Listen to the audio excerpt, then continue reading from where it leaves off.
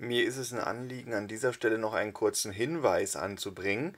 Und zwar, je nachdem, wo ich gerade rumlaufe und was ich gerade mache und je nach Wetter kann sich der Inhalt der einzelnen Folgen meiner Schweden-Dokumentation hier ähm, durchaus stark unterscheiden. Und das bedeutet, in dieser Folge sage ich jetzt kaum was während in den letzten beiden Folgen relativ viel Gelaber war. Das hängt halt immer so ein bisschen davon ab, was halt eben gerade unterwegs passiert. Bei schlechtem Wetter kann ich nur erzählen, wie quasi die letzte Etappe gewesen ist. Wenn gutes Wetter ist und ich in der entsprechenden Stimmung bin, dann kann ich auch ziemlich viel zeigen.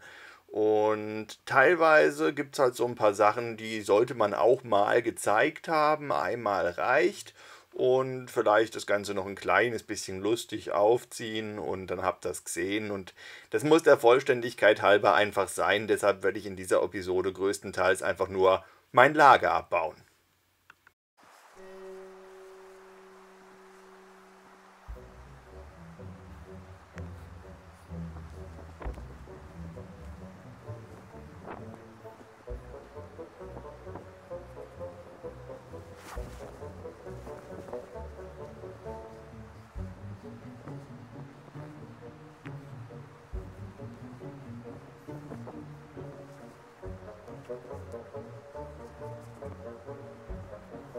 Das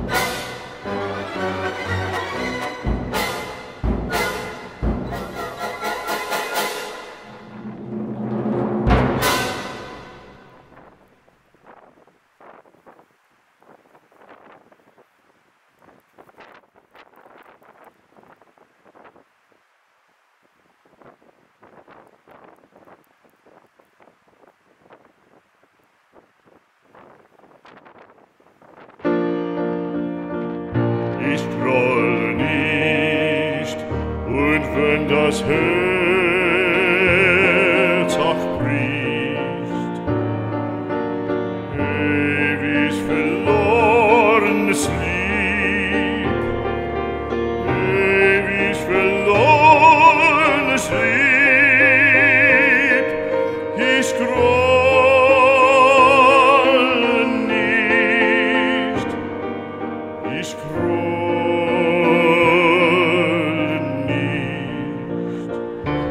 du auch strahlst in Diamantenpracht.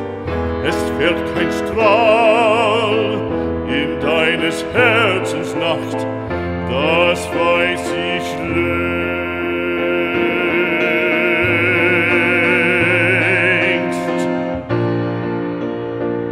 Ich grolle nicht, und wenn das Herz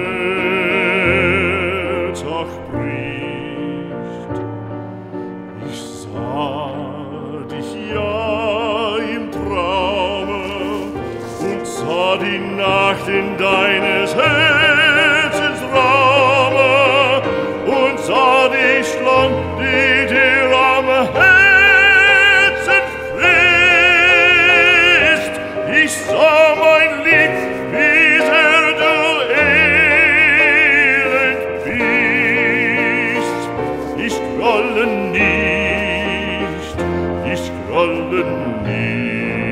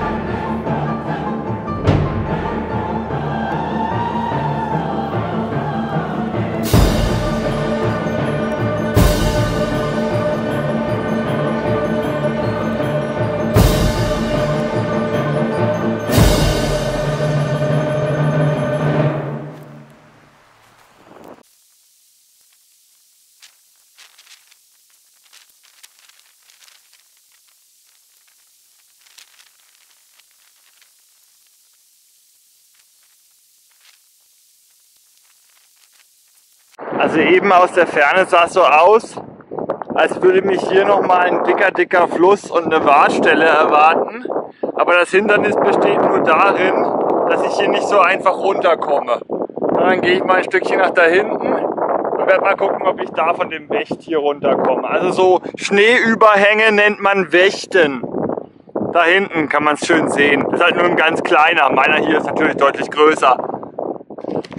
Will auch mal so eine Stelle dokumentieren. Die kommen eigentlich so alle paar hundert Meter sowas in der Richtung.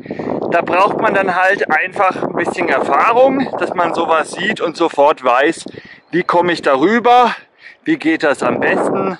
Am besten ist hier entlang, darunter auf den Stein, den Stein rüber.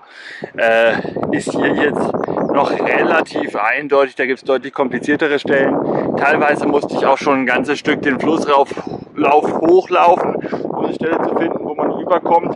Oft gibt es auch Stellen, da denkt man sich dann wieder, ja scheiße, irgendeine kleine Person oder jemand ohne Stöcke kommt hier jetzt gar nicht rüber. Man kann mit Stöcken durch Stockhochsprung quasi deutlich weiter springen und eine kleine Person schafft halt auch nicht so die Distanzen, wie ich das mit meinen 1,90 hinbekomme. Also mitunter ist es halt echt hier draußen Tatsache, wenn du ein kleiner Knilch bist oder eine Knilchin, dann hast du halt Nachteile. Das ist so. Das kann man einfach nicht bestreiten. Diskriminierung ist in der Natur ganz normal. Es, äh, man muss schon eine gewisse körperliche Eignung mitbringen für so eine Tour. So, ich bin jetzt zum ersten Mal, seit ich unterwegs bin, im Prova-Modus. Heißt, ich komme gerade mit gut 5 km/h durch die Landschaft, bin hoch konzentriert, bewege mich sehr effizient werde nicht müde, mir tut nichts weh, kann gerade so richtig Strecke machen und genieße das jetzt total. Das ist der Grund, weshalb ich hier bin. So Etappen, wo man dann auch Kraft hat und sich nicht im Schneckenmodus durch die Gegend schleppt, das macht richtig Spaß. Das habe ich nur so alle paar Tage mal so eine richtige Phase, wo ich von Kraft nur so strotze. Jetzt ist es soweit. Und das werde ich jetzt bisschen ausnutzen. Jo, und hier ist erstmal Schluss mit schnell vorwärts kommen. Gibt auch in näherer Reichweite nichts, was so aussieht, als ob man da drüber hüpfen könnte. Vielleicht ganz da hinten. Ich glaube aber, dass ich mit den Steinen, die hier drin liegen, und Stöcken, ohne Stöcke wäre das nicht möglich, noch einigermaßen trockenen Fußes durchkomme. Naja, ich versuch's mal. Wenn es nicht geklappt hat, habt ihr was zu lachen.